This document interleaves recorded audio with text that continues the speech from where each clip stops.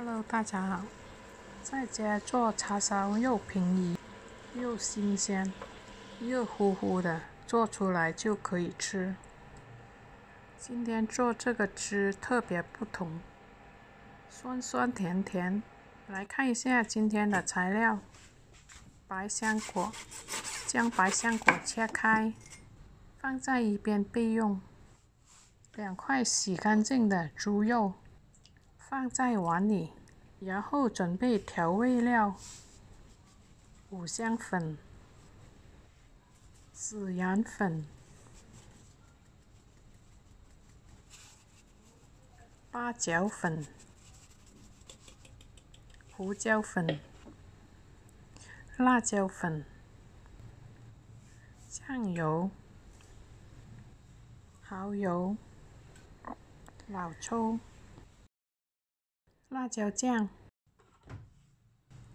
将所有的材料抓均匀。有时间的话，腌制两个小时，用保鲜纸封好，放入冰箱里。如果没有时间的话，抓均匀就可以开炉了。做好的猪肉放在一边备用。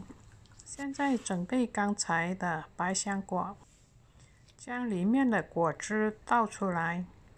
哇，百香果的味道特别的香，有白果的香味，酸酸的味道。放一点白糖上去调味。淀粉、水，将所有的材料搅拌均匀，放在一边备用。准备一把香葱，将葱切成葱花。再准备一个辣椒，将辣椒头去掉。再将辣椒切成粒，然后将切好的辣椒粒放在碟子里备用。葱也放在碟子里备用。准备好就可以开炉啦！开大火。锅热，倒入油，将刚才准备的猪肉再抓均匀。油热后，将猪肉放入锅里，将猪肉在锅底里移动一下，这样锅里的油就很均匀铺在锅底里。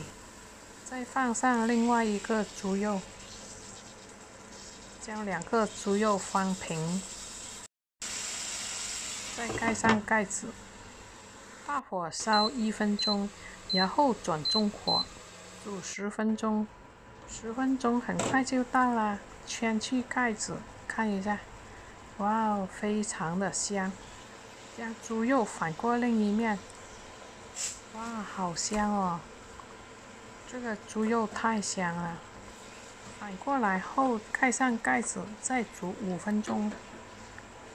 现在准备一个碟子。上面放一些盐片做装饰。五分钟的时间到啦！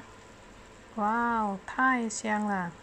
在猪肉里面的汤汁都是油。我们来看一下这个猪肉，太香了。现在将它放在砧板上，这样的猪肉看上去就想切开来吃了。现在将它切开两边。再将它切小块，看一下里面，哇哦，好漂亮哦！这个猪肉下菜下饭都一样好吃。现在将切好的猪肉放在准备的碟子里。我们来看一下，这个猪肉实在是太香了。这个菜基本上已经做好一半了，还有一个汤汁还没有做。这个视频你喜欢吗？如果你喜欢的话，给我一个点赞，或者给我一个留言。有时间给我写一个评论，我会很快的答复你。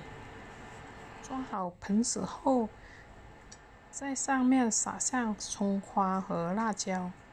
现在准备调味料，准备好的百香果搅拌一下，将它倒入刚才烧猪肉的汤汁里。这个百香果的香味太浓了，倒入肉汁里，酸酸甜甜、辣辣的味道。将汤汁搅拌均匀，将它煮开就可以了。再将它搅拌一下。哇哦，太浓了！将汤汁倒上猪肉上面。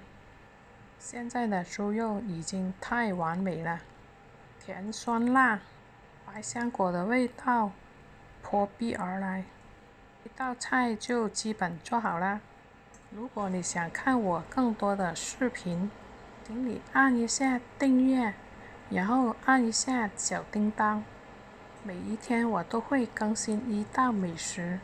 好啦，这一节就到这里啦，我们下一节再见，谢谢你的观看。